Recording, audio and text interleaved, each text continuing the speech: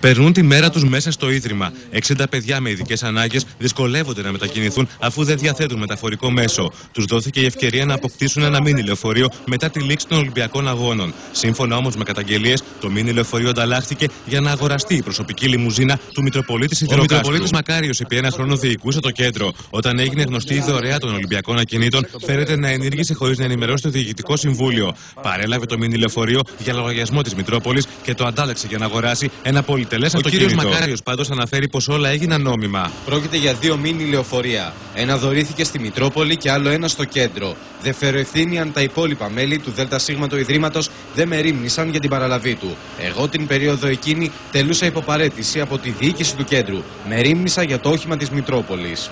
Το μήνυ λεωφορείο κατέληξε σε γραφείο ενοικιάσεω αυτοκινήτων. Ο Μητροπολίτης φέρεται να διαθέτει περισσότερα από δύο αυτοκίνητα. Ήταν σταθμευμένα στο προάβλιο της Μητρόπολης. Τα αυτοκίνητα αυτά, όπως υποστηρίζει ο κ. Μακάριος, προέρχονται από τον ΟΔΗ και δεν του παρέχουν ασφάλεια. Εμείς εδώ δεν καθόμαστε. Έχουμε πολλές εξωτερικές δουλειές και θέλω ένα αυτοκίνητο για να κάνω τις δουλειές μου πιο άνετα. Κάλυψε το ζούγκλα.gr. Ο Μητροπολίτης σε απάντηση που έστειλε τονίζει πως το μήνυ λεωφορείο που επρόκειται να δοθεί στο κέντρο κατέληξε στο Δήμο Μιγδονίας. Η διαμάχη αναμένεται να λυθεί στις δικαστικές αίθουσες.